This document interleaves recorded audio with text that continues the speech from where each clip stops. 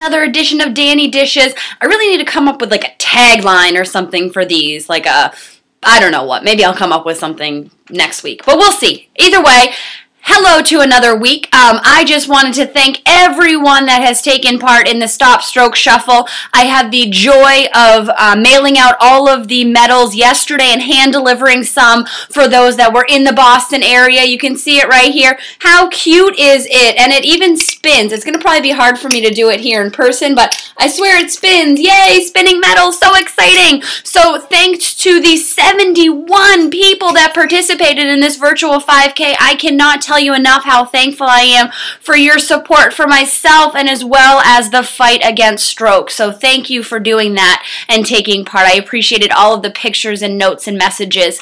Um, but on a different note, this week, February 23rd uh, to March 1st, is actually National Eating Disorder Awareness Week. And I just wanted to bring that to light to make sure people know. Um, so, for those that have not been following my journey for a while or are new to this, um, I have battled um, both anorexia and bulimia.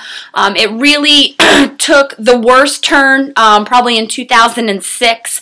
Uh, that's when I really hit a low point, um, and really just stopped eating and if I did eat, you know, taking not the healthy way out.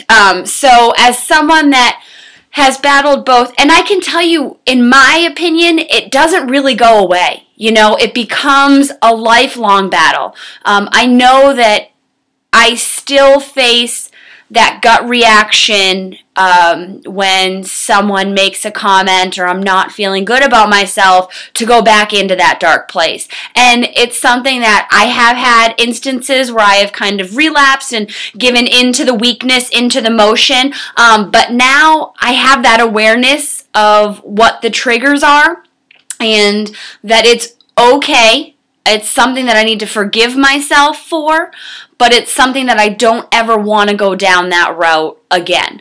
Um, I had dropped a lot of weight um, the first time, and I really am thankful to a couple of my friends that sat me down and, and really were scared of, for what was happening, were aware. Um, I totally thought I was under the radar and that no one could tell what was going on, um, especially when people started saying, you know, you are looking great, whatever you're doing, keep doing it. And in my mind, that meant I had to keep doing what I was doing um, because it clearly was working. I was looking good, but inside, everything was wrong. It was hurting me physically, mentally, emotionally, all of it. So if you are someone that is struggling, or if you notice a friend, a family member that's struggling, try to reach out.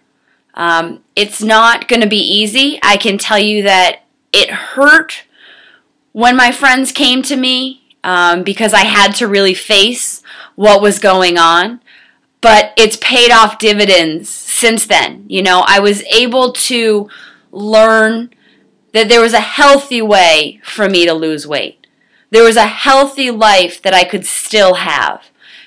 And there's other ways to get out and to deal with what is going on. So if you need someone to reach out to and you do not feel comfortable with friends, family, feel free to reach out to me. You can always find me on Twitter, Irish Eyes 1982. You can email me, Dani at weightoffmyshoulders.com. Feel free to reach out. I am always here to listen.